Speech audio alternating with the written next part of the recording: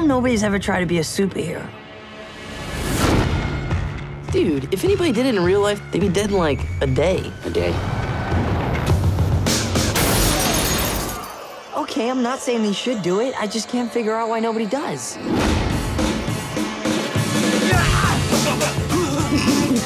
Comic books had it wrong. Any ordinary person can be a superhero. There's a dude dressed like a superhero defending a bunch of guys. It's awesome! Thank you. Who are you? I'm kick-ass.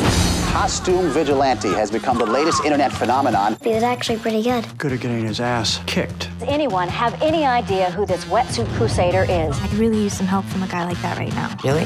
Hey, I'm kick-ass. He should call himself Ass Kick instead. It didn't take long before I wasn't the only one. Kick-Ass really proved that one individual can make a difference. Kick-ass! Red mist! Oh, fuck me, that kinda hurt. Whew. You wanna go fight some crime?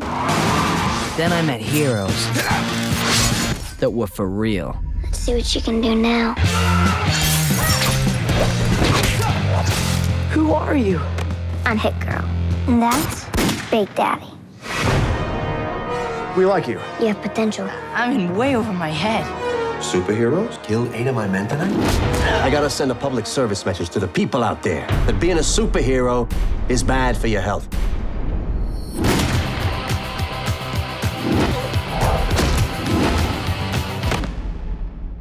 So you want to play? I always wondered why nobody did it before me.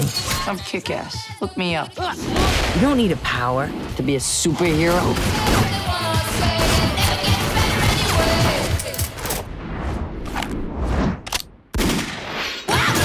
And with no power comes no responsibility.